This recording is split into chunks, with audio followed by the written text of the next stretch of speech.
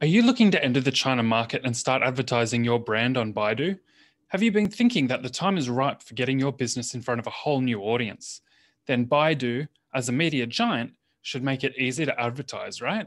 I mean, what company doesn't want more advertisers? Unfortunately, that's not the case. Despite being a prime channel for advertising in China, Baidu still remains a mystery for Western advertisers. We've seen hundreds of businesses struggle with this challenge and give up. China is a lucrative market, but it needs careful consideration when it comes to targeting your audience and producing creatives that will resonate. Hi, I'm Brad Matthews with AdChina.io, and in this video, we'll jump into using a unique platform that makes it possible for founders, companies, and marketers to advertise on Baidu and all of China's top channels in English. Well, we created AdChina.io because we saw a huge problem in the market. Only the biggest brands were able to navigate the challenges of advertising in a radically different market like China. With budgets not being an issue, many top brands set up local teams in China to advertise and grow in the market because the Baidu platform is hard to navigate on your own. But setting up a local team is not right for everyone.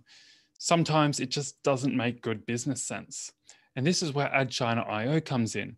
We provide you with local language and marketing expertise, along with a platform similar to Google AdWords. The platform allows you to create your own campaigns, set your budgets, add your creatives, all in a systematic manner, all without having to fumble around with Google Translate as you try to localize your ads and navigate the platforms. So let's get started. Step one is to create an account. So first go to dsp.adchina.io and create your free account. You'll need to connect your account to your existing Baidu official account, or we can work with you to set that up.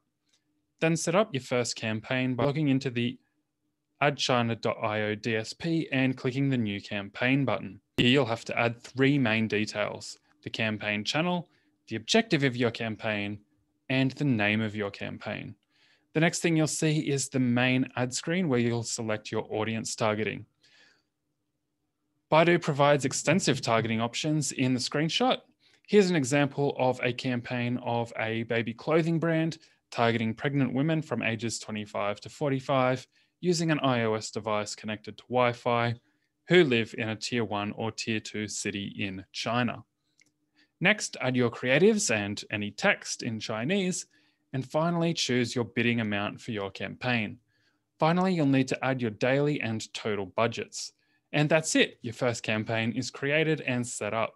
Once your campaign is approved, your ad will start running within 24 hours and often much sooner. You can log into your AdChina.io account anytime to see how your campaign is performing.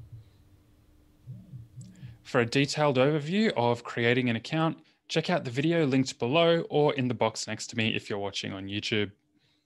See you next time. Bye for now.